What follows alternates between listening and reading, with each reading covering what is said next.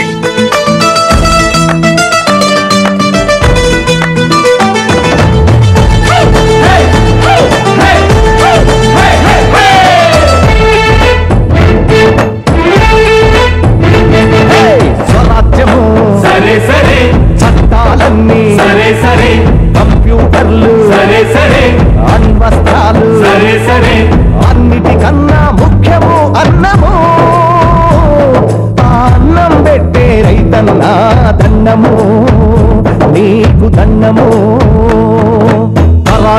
తరానికొక్కడు నీలా పుడతాడు మట్టి మనిషిగా మా మట్టి మనిషిగా. తరానికొక్కడు నీలా పుడతాడు మట్టి మనిషిగా మా మట్టి మనిషిగా. శ్రీరాముడి కాలి స్పర్శ రాతిని నాతిగా చేసే నీ కాలి స్పర్శ తగిలి వీళ్ళు సాగు భూములాయే. వీళ్ళు సాగు భూములాయే వీళ్ళు సాగు భూములాయే.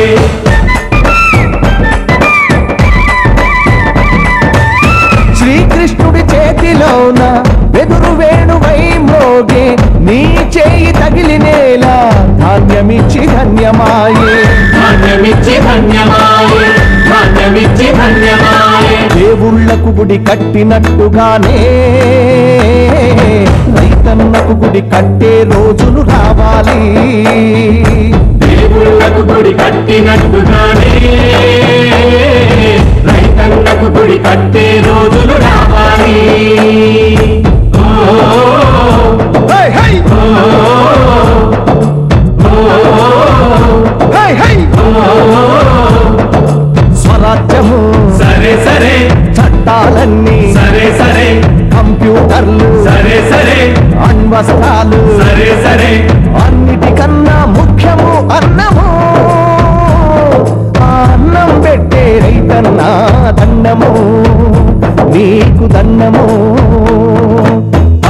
ఒక్కడు నీలా పుడతాడు. మట్టి మనిషిగా మా మట్టి మనిషిగా. తరానికొక్కడు నీలా పుడతాడు. మట్టి మనిషిగా మా మట్టి మనిషిగా.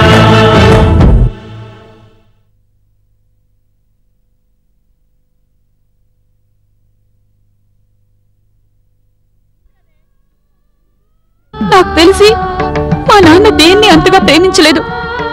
ఒక మట్టిని తప్ప. వందేకరాల భూస్వామి. ఏమీ లేని ఆసామైపోయాడు శివ.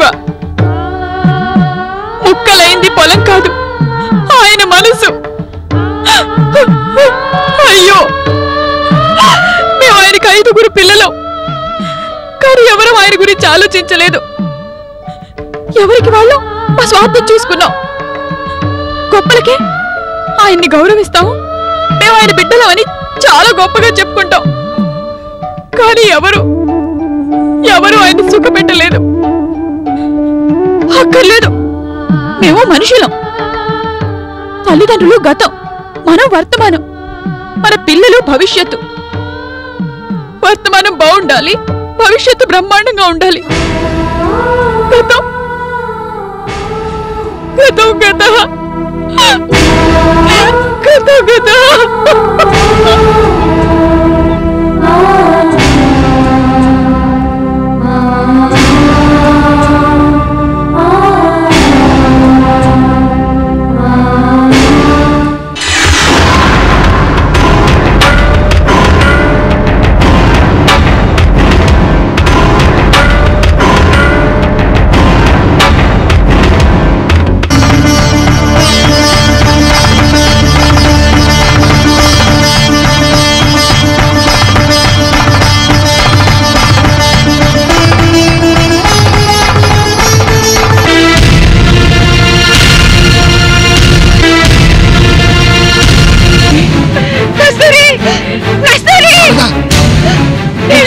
వెళ్ళిపోతుందండి ఊరుకో. మనల్ని కాదని వెళ్ళిపోతుందండి ఊరుకో. ఊరుకో. కస్తూరి! తల్లి! నా పాప వెళ్ళిపోతుందండి చాలా.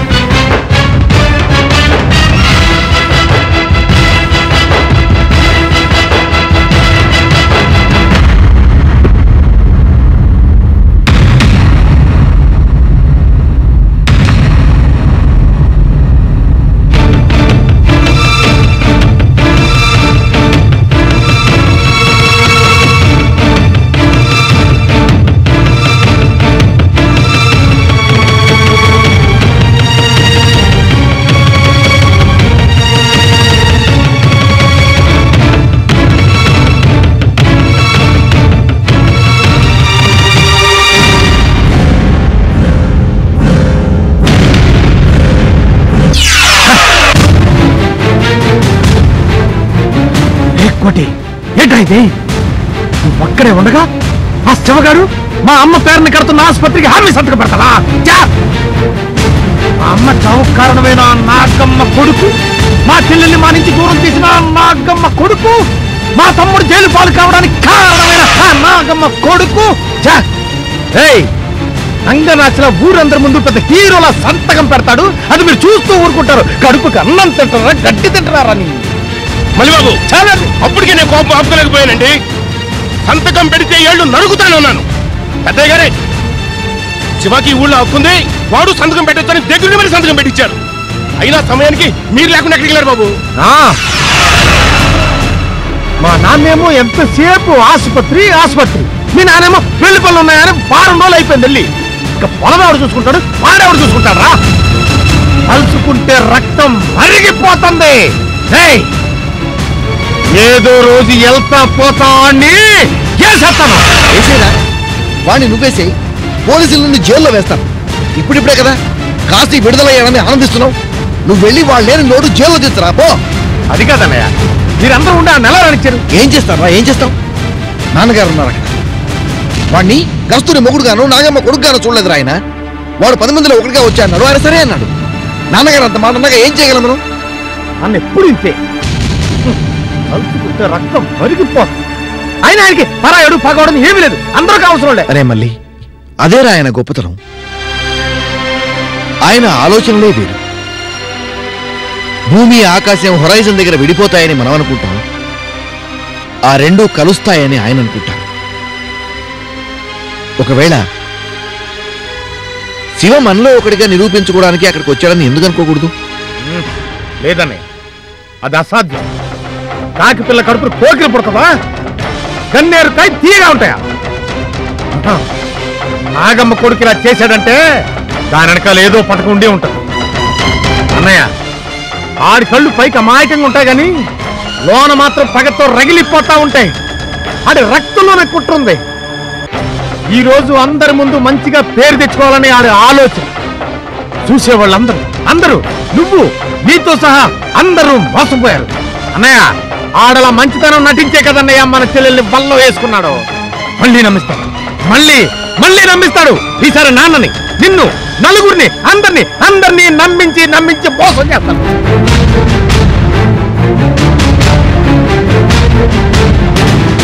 అన్నట్టు చెప్పడం మర్చిపోయాను బాబు. పెద్ద పెద్దయ్య గారు అమ్మాయి కళ్యాణంకి పెళ్ళి కుదిరింది.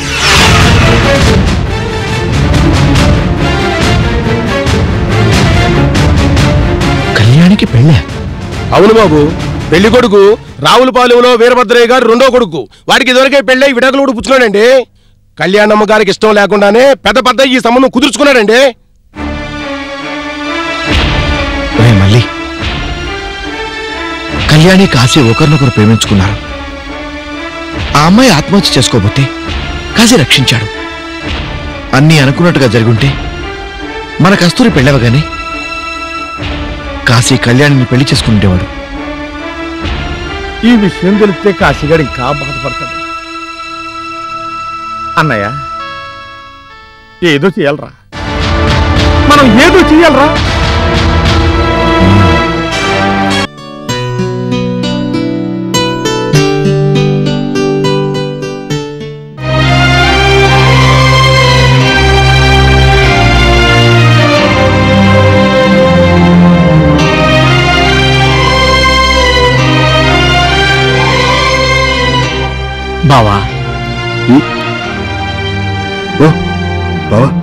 నువ్వా?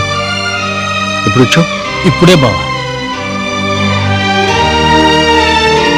నా మీద కోపంగా ఉందా బావా? కోపమా? ఎందుకు? అదే బావా. సుజాత ఇల్లు కొనమన్నందుకు దాని మంకు పట్టుదల వల్ల మీ పొలం అమ్మేయాల్సి వచ్చినందుకు. లేదు బావ. అందులో నీ తప్పే ఉంది. పైగా సుజాత తప్పు కూడా లేదు.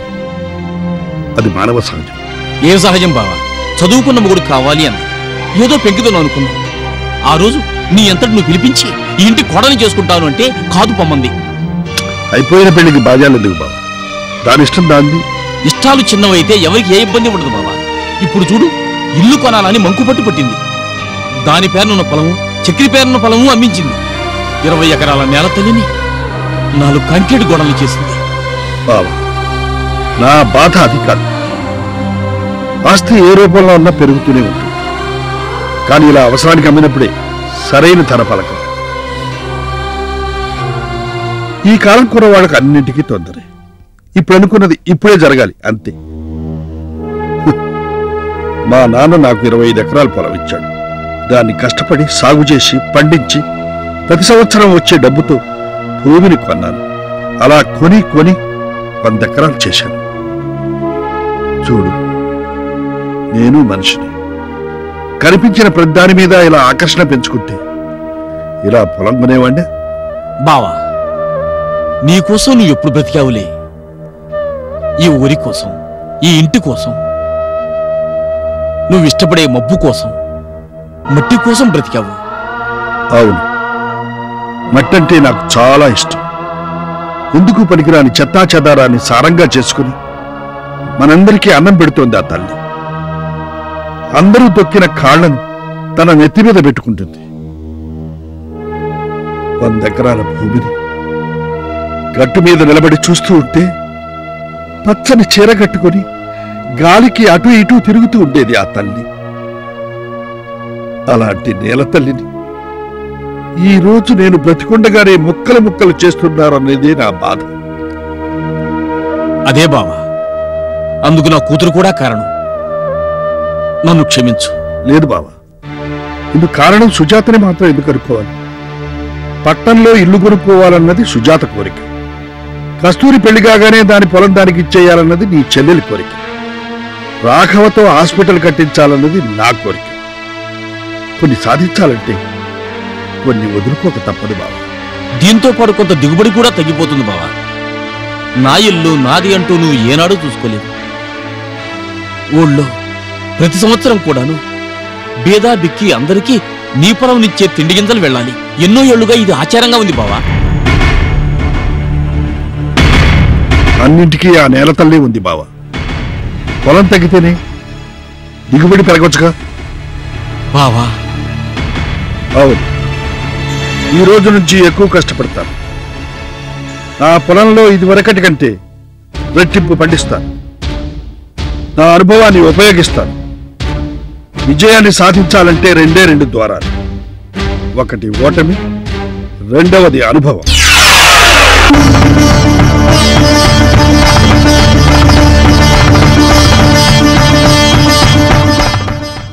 మళ్ళీ హాస్పిటల్ రెండో అంతస్తు కూడా పూర్తయిపోయిందంట. త్వరలో గోడలు కూడా పూర్తవుతాయి అంటున్నాడు మన ఆర్కిటెక్ట్ రాంబాబు చాలా తెలివైన కుర్రాడిలా కనిపిస్తున్నాడు రా జనరల్ వార్డులో నలభై పడకలంట. స్పెషల్ రూమ్లు ఇరవై అంట. ఐసీయూలు రెండు అవుట్ పేషెంట్లు వచ్చే జనం పోయే జనం వీళ్ళందరూ అప్ప ఈ హాస్పిటల్ ఎప్పుడు పూర్తవుతుందని నాకు చాలా తొందరగా ఉందిరా. అది కాదురా మళ్ళీ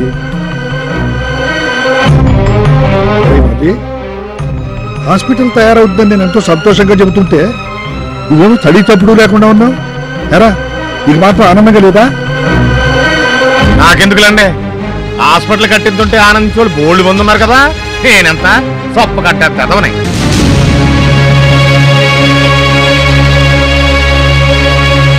మళ్ళీ ఈ డొంక తిరుగుడు దారులన్నా డొంక తిరుగుడు మాటలన్నా నాకు ఇష్టం ఉండదని నీకు తెలుసుగా? నువ్వు చెప్పేదేదో సూటిగా చెప్పు. హాస్పిటల్ కడతానికి చాలా మంది సూరిటీ సంతకాలు చేశారు కదా? వాళ్ళ గురించి మాట్లాడేది. ఓ అదే. ఆ నాగమ్మ కొడుకు సంతకం చేశాడనేగా? అవునండి. మా అమ్మ పేరున హాస్పిటల్ కడుతుంటే సూరిటీ పెడతారు గాడేవడండి రే మళ్ళీ. మన కుటుంబం కోసమే ఈ హాస్పిటల్ కట్టడం లేదు. ప్రజల కోసం కట్టు రేపు హాస్పిటల్కి వచ్చే వాళ్ళలో స్నేహితులు ఉండొచ్చు విరోధులు ఉండొచ్చు. అందుకని ఫలానా వాళ్ళు మాత్రమే సంతకం పెట్టొచ్చు అనే పద్ధతి మంచిది కాదు. ఆడక్కడికి రావడమే నాకు అసలు ఇష్టం లేదండి. మే సార్ మీరా? రండి. నమస్కారం సార్. నమస్కారం. రండి కూర్చోండి. సారీ సార్ మిమ్మల్ని డిస్టర్బ్ చేసినట్టున్నాను. అబ్బే అదేం లేదండి ఏదో ఊళ్ళో విషయాలు మాట్లాడుకుంటున్నాం. చెప్పండి హాస్పిటల్ పని ఎక్కడ దాకా వచ్చింది? ఆ విషయం రామబ్రహ్మం గారితో చెప్దామని వచ్చాను సార్. ఏమిటి ఎంతవరకు వచ్చింది? సెకండ్ ఫ్లోర్ స్లాబ్ అయిపోయిందండి. రేపటి నుంచి గోడలు అది మొదలు పెడతారు. అంతవరకు ఓకే దగ్గరుండి కట్టిస్తాను. ఆ తర్వాతే ఆ తర్వాత? అదేనండి తర్వాత అన్ని టెక్నికల్ డైరెక్షన్స్ ఉండాలి. రాఘవ్ ఎప్పుడు వస్తాడో? ఆపరేషన్ థియేటర్ ఎక్కడ ఉండాలో? ఐసీయూ ఎక్కడ ఉండాలో ఓపీ హాల్ ఎక్కడ ఉండాలో చెప్తే గానీ వర్క్ కంప్లీట్ కాదు. ఇంతకీ ఎప్పుడు అనుకుంటున్నా సార్ ఇనాగ్రేషన్? ఏమో మరి రాఘవ రోజు ఫోన్ చేస్తుండేవాడు రెండు రోజుల నుంచి ఫోన్ చేయడం లేదు. చేస్తాడేమోలండి అయినా అక్కడంతా బిజీ లైఫ్ కదా సార్. అన్నట్లు మీకు చూపిద్దామని ఎక్స్చేంజ్ లేఅవుట్ తీసుకొచ్చాను సార్. చూడండి.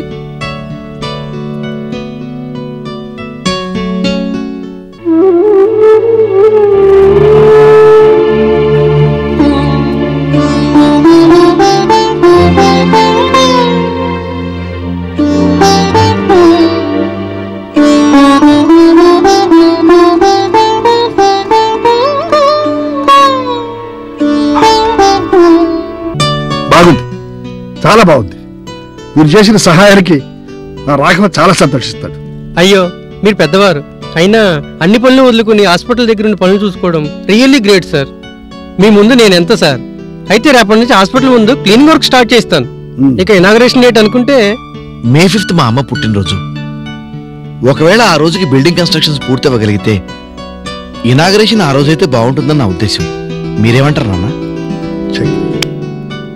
అమ్మ పుట్టినరోజు జ్ఞాపకం ఉన్న కొడుకులు ఉండడమే మీ అమ్మ చేసుకున్న అదృష్టం.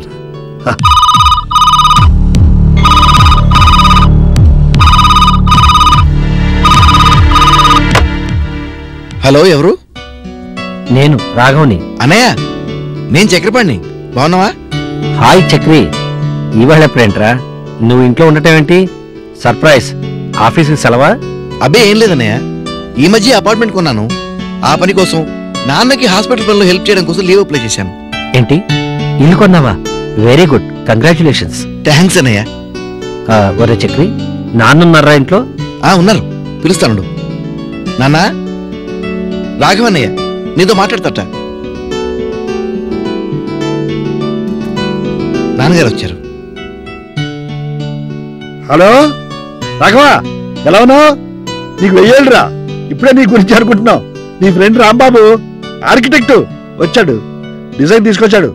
భలే బాగుందిరా అదేనన్నా దాని గురించి మాట్లాడదామనే ఫోన్ చేశాను. మీరు కొంతకాలం పాటు ఆ పనులన్నీ పట్టించుకోకండి. మీరు హాస్పిటల్ వైపు వెళ్ళకండి. అసలు దాని గురించే మర్చిపోండి. ఏమిటా? ఏమిటో అనేది? నేను హాస్పిటల్ వైపు వెళ్ళొద్దా? హాస్పిటల్ పనులు చూడొద్దా? అరే ఏమిట్రా? ఏమంటున్నావు? ఏ? అవునన్నా నేను రేపు బయలుదేరి ఎల్లుండి కల్లా అక్కడ ఉంటాను.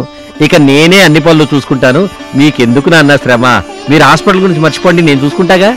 ఆ? ఓ! అదే నువ్వు అనేది. చంపావు కదరా. ఆ, అప్పుడు అందరూ వస్తున్నారా? అమ్మాయి బాబు. అవునన్నా మూడేళ్ళ పాటు. మిమ్మల్ని వదిలేసి ఎలా ఉన్నామో అర్థం కావట్లేదు. అనుకుంటారు కానీ కన్నతల్లిని సొంత ఊరిని వదిలేసి ఎక్కడో ఇక్కడ. దూరంగా ఉండటం అంత ఈజీ కాదు నాన్న. కమ్మని మీ ప్రేమ ఉండదు తీయని మన మాట ఉండదు అన్నదమ్ముల అనురాగం ఉండదు ఆవకాయ పచ్చడి రుచి ఉండదు. ఏదో యాంత్రికంగా ఉన్నాం అనిపిస్తుంది అప్పుడప్పుడు. ఎందుకొచ్చానరా భగవంతుడా అని అనుకోని రోజు ఒక్కరోజు కూడా ఉండదు.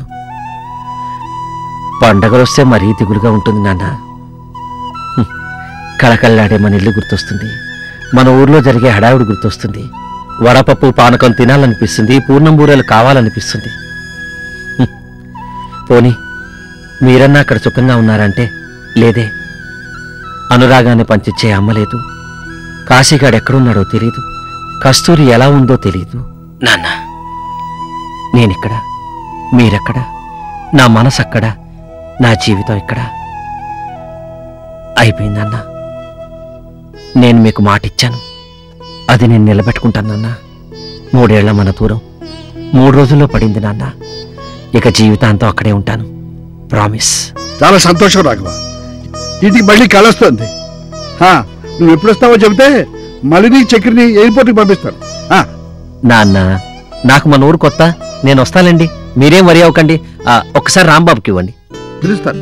బాబు రాంబాబు. రాఘవ పిలుస్తున్నాడు. లలిత్తో కూడా చెప్పరా? అలాగేనా వస్తున్నాడు one minute hi Raghava how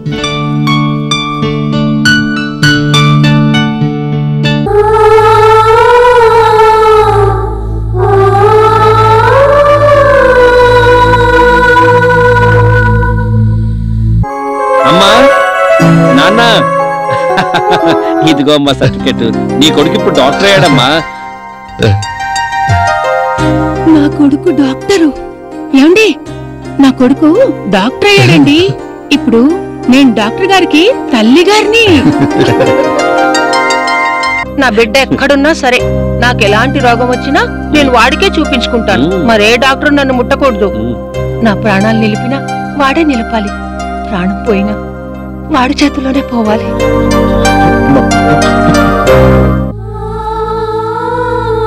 Sharada పది మందికి ఉపయోగపడేలా నీ పేరుతో ఒక హాస్పిటల్ తయారవుతోంది.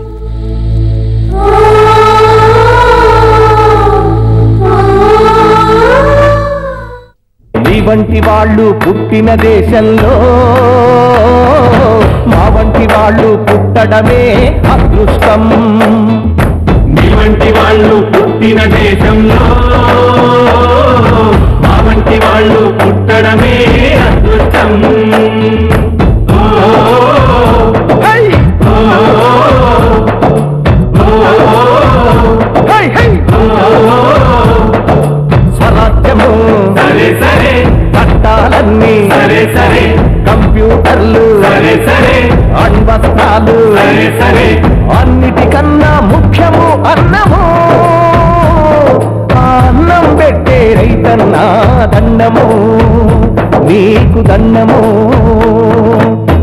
తరానికొక్కడు నీలా పుడతాడు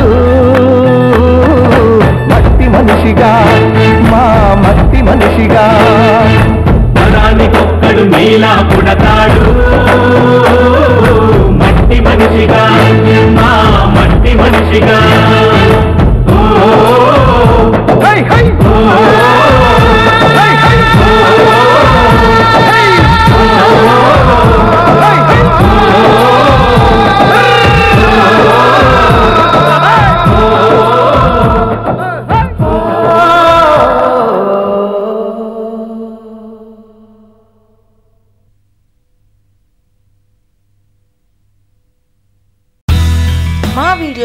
మీకు నచ్చినట్లయితే like share and don't forget to subscribe.